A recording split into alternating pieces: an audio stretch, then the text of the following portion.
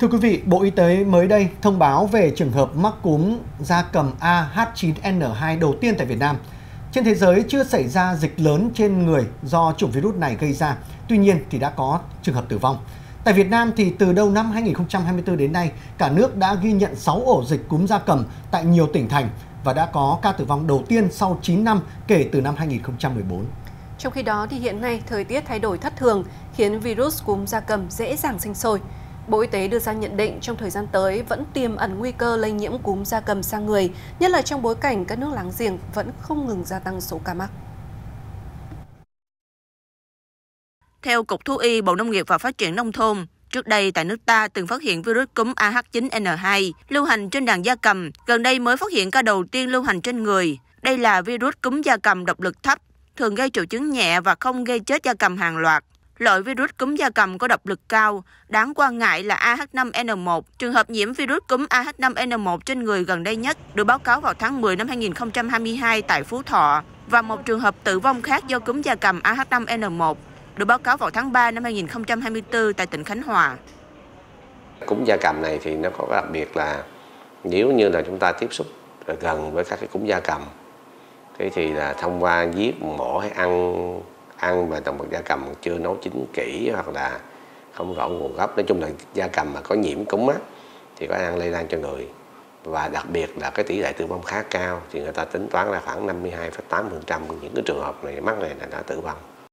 Trên thế giới, từ cuối năm 2023 đến nay, ghi nhận nhiều đợt bùng phát cúm gia cầm trên động vật ở tất cả các khu vực, chủ yếu là do chủng virus cúm AH5N1. Trong nước, theo thông tin từ Cục Thú y, Bộ Nông nghiệp và Phát triển Nông thôn, dịch cúm gia cầm vẫn được ghi nhận rải rác trên đàn gia cầm ở nhiều địa phương. Bộ Y tế nhận định, trong thời gian tới vẫn tiềm ẩn nguy cơ lây nhiễm cúm gia cầm sang người. Về dịch cúm gia cầm vẫn xảy ra trên đàn gia cầm khắp cả nước, đặc điểm di cư bây giờ nó cũng thay đổi biến động theo thời tiết biến động theo biến đổi khí hậu thì những cái đấy là chúng ta khả năng khống chế của chúng ta còn ờ, rất khó để chủ động phòng chống cúm gia cầm lây nhiễm sang người, Cục Y tế Dự phòng đề nghị các địa phương tổ chức kiểm tra nguồn lây và xử lý triệt để ổ dịch, tăng cường giám sát, phát hiện sớm các trường hợp mắc mới, thu dung cách ly điều trị theo quy định của Bộ Y tế và chỉ đạo Trung tâm Kiểm soát Bệnh tật kịp thời triển khai các biện pháp phòng chống dịch.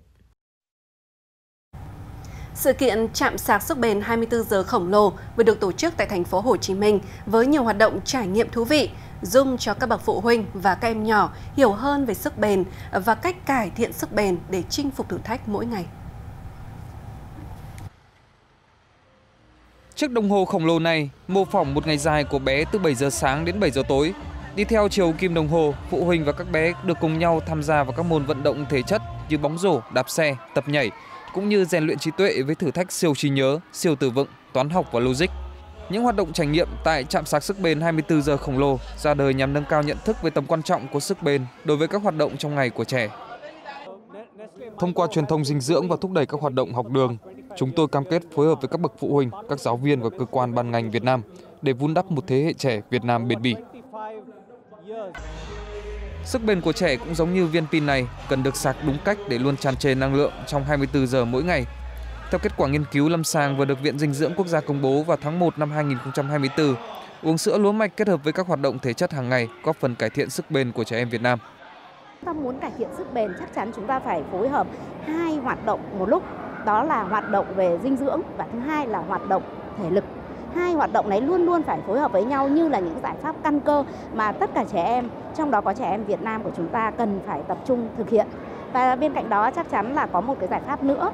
hỗ trợ cho các cháu đó là sự đồng hành của cha mẹ và đồng hành của các đơn vị cung cấp các sản phẩm dinh dưỡng. Sau thành phố Hồ Chí Minh, sự kiện chạm sạc sức bền 24 giờ khổng lồ sẽ tiếp tục được tổ chức từ ngày thứ 6, 12 tháng 4 đến hết chủ nhật ngày 14 tháng 4 tại Aeon Mall Long Biên, Hà Nội hứa hẹn thu hút hàng ngàn gia đình tham gia, đem đến một không gian tham quan và trải nghiệm đầy hấp dẫn. Thưa quý vị, niềm vui mừng phấn khởi của người dân tại xã Đắc Xú, huyện Ngọc Hồi, tỉnh Con Tum khi tuyến đường Phan Bội Châu được đầu tư nâng cấp mở rộng chưa kéo dài được bao lâu, thì mới đây hàng chục hộ dân đã lo lắng và kiến nghị về tình trạng đơn vị thi công trong quá trình lưu đường làm rung lắc, làm sụt lún, nứt nhà. Ghi nhận của phóng viên truyền hình nhân dân tại tỉnh Con Tum.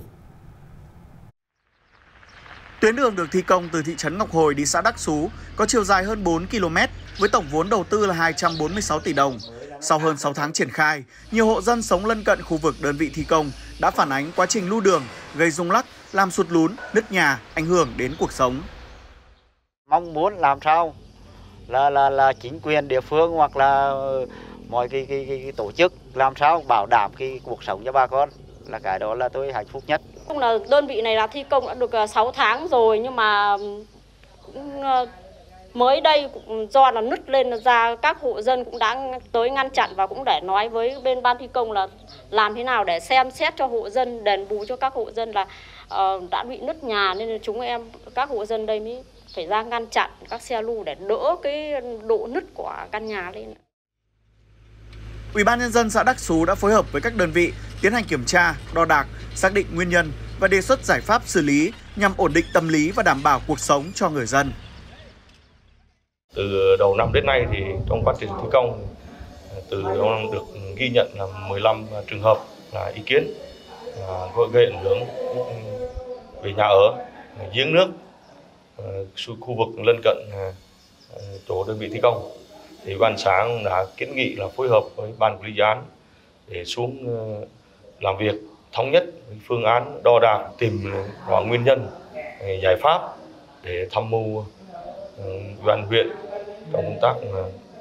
hỗ trợ đối với người dân có ảnh hưởng. Huyện Ngọc Hồi cũng đã chỉ đạo các cơ quan, đơn vị có liên quan khẩn trương tham mưu, giải quyết các phản ánh của người dân, tránh để sự việc kéo dài gây bức xúc trong dư luận.